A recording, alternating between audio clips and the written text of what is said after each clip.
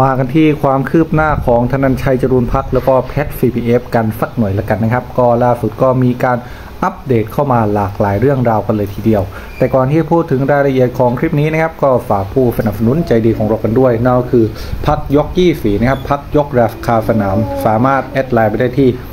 @py 24ต้องมีเอ็ดนำหน้าด้วยนะครับ ก็ความคืบหน้าล่าสุดนะครับ ของธนันชัยจรูนพักแล้วก็เพชร CPF นะครับ ที่จะมีคิวชกชิงแชมป์โลก ในวันที่ 13 ตุลาคม และ 14 ตุลาคมตามลำดับนะครับ ก็เริ่มกันที่ธนันชัยจรูนพักนะครับ ก็ย้ายที่ซ้อมเหมือนกับว่าที่นู่นฝนมันตกเนาะก็เลยย้ายที่ซ้อมไปซ้อมอยู่ยิม MMA อะไรสักอย่างนี่แหละเออใกล้ ๆ กับโรงแรมที่พัก แล้วก็ส่วนในเรื่องของ เวลาการถ่ายทอดสดเนาะแรกเริ่มเดิมทีก็มีการแจ้งว่าจะถ่ายทอดสดเวลา 15นาฬิกาทางช่อง 8 เนาะแต่ว่าล่าสุดก็มีการอัปเดตล่าสุดเข้ามาว่าช่อง 8 จะถ่ายทอดสดเช่นเคย แต่ว่าจะเลื่อนเวลานะครับจากเวลา 15นาฬิกาเป็นเวลา 17นาฬิกาเอออันนี้ก็เป็นการอัปเดตล่าสุดนะครับเกี่ยวกับเกี่ยวกับทางด้านฝั่งธนันชัยจรุนพักที่จะชิงแชมป์โลกกับทางด้านไฟโกยูเรียกุยในวันที่ 13 ตุลาคม ก็เหลืออีกเพียงแค่ 2 วันเท่านั้นนะครับเวลาอันระทึกใจก็ใกล้เข้ามาแล้วครับ ส่วนทางฝากฝั่งของเพชร VPF นะครับก็ก็ยังคงซ้อมอยู่ที่ค่ายของอย่างที่ผมได้นำเสนอไปก็ซ้อมอยู่ที่ค่ายอ๋อเปลี่ยนที่ซ้อมเหมือนกันเนาะะก็ไปซ้อมอยู่ที่ค่ายมวยนอนาคศิลในกรุงโตเกียวนะครับ ย่านอาคาบาเนะกรุงโตเกียว ก็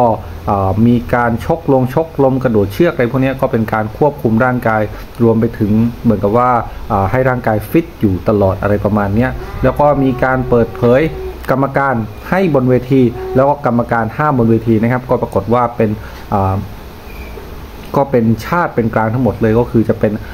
กรรมการจากสหรัฐอเมริกาทั้งหมดเลย ก็ได้แก่เควินสกอตไมโรสนาธานพอลเมอร์ อันนี้ก็เป็นกรรมการให้ ให้คะแนนทั้งสามท่าน แล้วก็ผู้ชี้ขาดบนเวทีก็เป็นฝ่ายรัฐเช่นกันชื่อลอเรนโคเอออันนี้ก็มีการอัปเดตเข้ามาล่าสุด ซึ่งก็จะคู่ของเพชรเนี่ยจะมีการแถลงข่าวอย่างเป็นทางการอีกครั้งนะครับในในวันที่ 13 ตุลาคม ตามเวลาท้องถิ่นที่กรุงโตเกียวประเทศญี่ปุ่นเนาะก็ตรงกับบ้านเราก็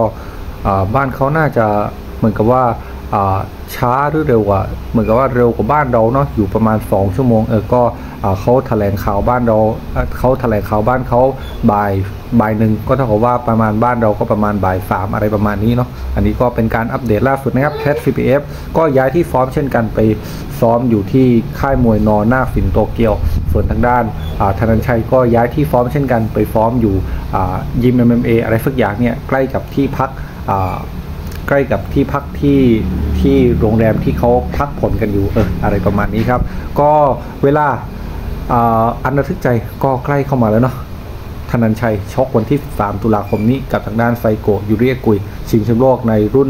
112 ปอนด์ของ WBA ถ้าทำได้ก็จะเป็นการทวงเข็มขัดแชมป์โลกคืนในรอบ 14 ปี 14 ปี ส่วนทางด้านเพชร CBF ก็จะชกในวันที่ 14 ตุลาคม กับทางด้านจุนโตะนากาตานิในเส้นของ 118 ปอนด์ WBC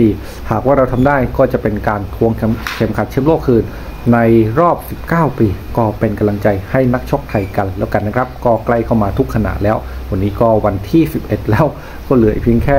2 วันกับ 3 วันเท่านั้นเองครับ